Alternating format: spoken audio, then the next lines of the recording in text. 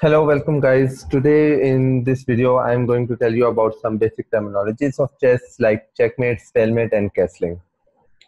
Checkmate is a condition in which uh, an opponent's king has no legal square to move on. Uh, uh, look an example. In that condition, white's king has no legal square to move. These three squares are guarded by black's king and this whole rank is covered by black's queen. So we can say that white's king, queen, uh, king has been checkmated. Similarly, another example I had In that particular example, black's queen has checkmated white's king.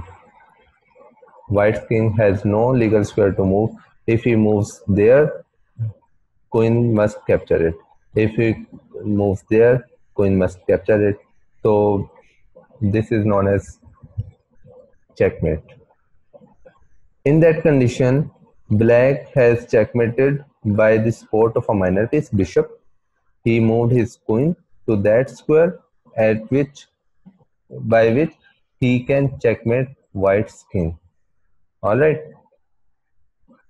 Next example is that in that example these squares are covered by bishops these and this and uh, this square is guarded by knight and the whole last rank is guarded by rook.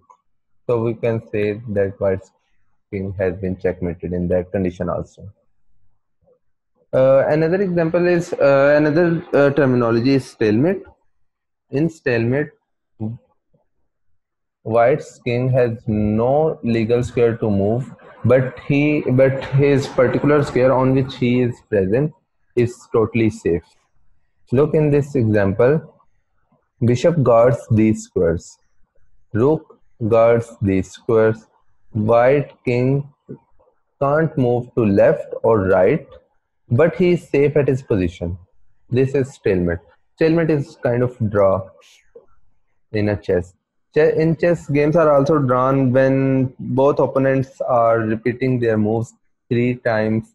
Then games can be considered as draw in this condition game is also considered as drawn because black's king can't move to left right or in seventh rank because all these squares are guarded and black king is safe on its own square.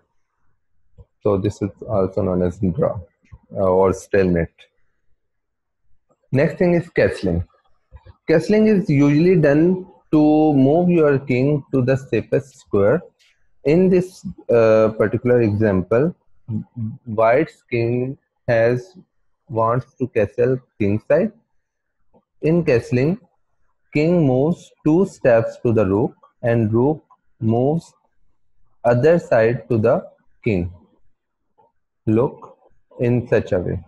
Before castling, king is here at d square and uh, rook is present at a square. After castling, king goes to b square and rook moves to c square.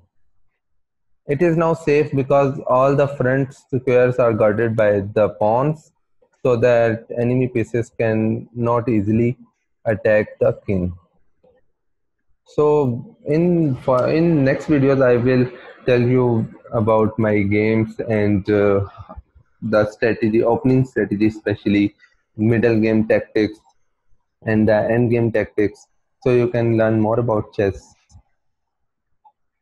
Till that time, stay blessed. Allah Hafiz.